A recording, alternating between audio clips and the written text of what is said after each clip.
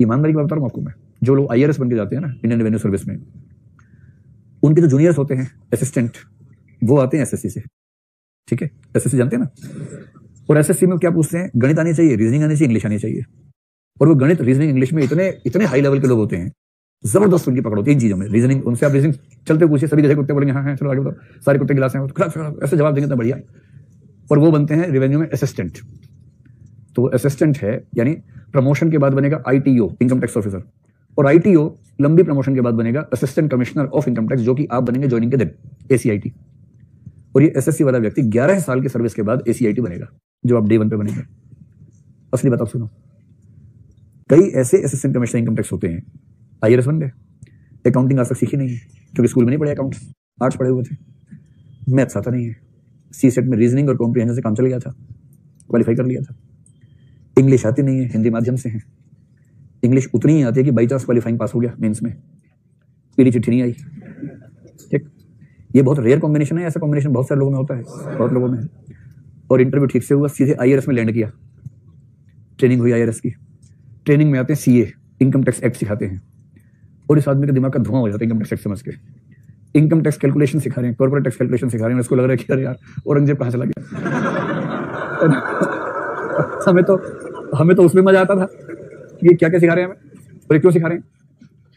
उसके बाद फाइनल हो गया ट्रेनिंग पूरी। ट्रेनिंग में पास करना ट्रेनिंग एकेडमी की नैतिक ज़िम्मेदारी होती है, वरना यूपीएससी पर सवाल उठ जाता है। इसलिए आप वहाँ कितना भी खराब पढ़े, अंत में पास करवा देते हैं। यहाँ तक कि चीटिंग का ऑर्गेनाइज सिस्टम काम करता है वहाँ पर कि भैया पास होना है आपको। यूपीएससी की परीक्षा का सवाल है किसको सुन के भेज दिया है। तो आखिरी एग्ज़ाम में जब दिखता है ऐसे पास नहीं होगा इन्विजिलेटर बाहर चले जाते थोड़ी देर के लिए। कि हम चाय पी के रहे हैं, आप अधिकारी लोग हैं, समझदार हैं चीटिंग नहीं करेंगे। हम दस मिनट में आ रहे हैं। इसका संकेत स्पष्ट होता है कि भाई, है ना, दस मिनट में आ रहे हैं, दस मिनट काफ़ी है, एग्ज़ाम आसान है। और दस मिनट में उसके बाद राम राज्य स्थापित होता है वहाँ पर, और उसके बाद फिर सब लोग पास हो जाते हैं। तो इनको लगता है हमारा झंझट तो खत्म हुआ। अब मिनिस्ट्री ऑफ़ फाइनेंस देखेगी बाद में, फिर वो फ़ील्ड में जाते हैं। अब एक जिला या एक छोटा जिला उसके हाथ में असिस्टेंट कमिश्नर इनकम टैक्स उसके बस तीन असिस्टेंट हैं, एक आईटीओ है। दावे से कह रहा हूँ कि 90 परसेंट केसेस में असिस्टेंट्स को लगता है कि ये आदमी बना कैसे I S ninety percent cases में ऐसी स्थिति होती है। मतलब आई ऐसे भी तो आई वाला था। और आई एग्ज़ाम दिया आई हो गया। जब वो बन गया था तो ऐसे होता प्रभु, आप आएँगे आई बन गया तो प्रभु वाले मूड में रहते हैं। कोई ह्यूमैनिटीज वाला, हिंदी माध्यम वाला पहुँचे वहाँ, जिसको मैथ के नाम से भूत आता हो, जिसको। फिर देखिए असिस्टेंट्स को। धीरे धीरे क्या होता है? काम सारे असिस्टेंट करते हैं। कोई काम है सर बोलते हैं भाई तो सब देख लो क्या है ये? कुछ इंग्लिश में लिखा आप देखो क्या लिखा है। इसका टैक्स कैलकुलेट करना जरा, कैसे करते कैलकुलेट तुम लोग यार? कैसे करते हो? इसको लगता है कि हम तो जैसे करते हैं तू आया कैसे यहाँ पर? तुम यहाँ पहुँचे कैसे? ये हालत हो जाती है। और उसके बाद जब केस की सुनवाई भाई साहब जज भी तो है। असिस्टेंट कमिश्नर होने का मतलब है कि आप जज हैं। जज का मतलब इनकम टैक्स या जीएसटी के मामलों में आप जिस भी सर्विस में हैं, उसके केसेस आपके पास आएँगे। किसी पे आपने भेजा, एक पत्र भेजा कि आपका टैक्स ठीक नहीं लग रहा हमें तो डिस्कशन करनी होगी। केस कर दिया, वो आदमी आया। उसने वकील भेजा अपना। वो वकील एलएलबी प्लस सीए है। आमतौर पर टैक्सेशन के वकील सीए प्लस एलएलबी होते हैं। वो वकील है। वो पिछले दस, बीस, पच्चीस साल से इनकम टैक्स के केसेस देख रहा है। इनकम टैक्स एक्ट उसको पूरा रटा हुआ है। वो देखता नहीं है, वो सीधे पेज नंबर बोलता है। पेज नंबर है चौथी लाइन दूसरा शब्द, ऐसे बोलता है। और सारा इंग्लिश में बोलता है। सामने जज साहब बैठे हैं। जज साहब ने इनकम टैक्स ठीक से पढ़ा, क्योंकि एकेडमी में वो बाकी कामों में व्यस्त थे।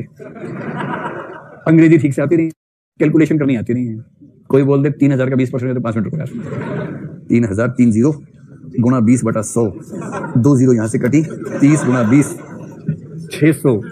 दो ढाई मिनट के बाद बोले हाँ छह सौ आगे बताओ। आप समझ रहे हैं कि जो वकील सामने खड़ा है, इधर दूसरा वकील खड़ा हुआ है, दो तीन असिस्टेंट खड़े हैं।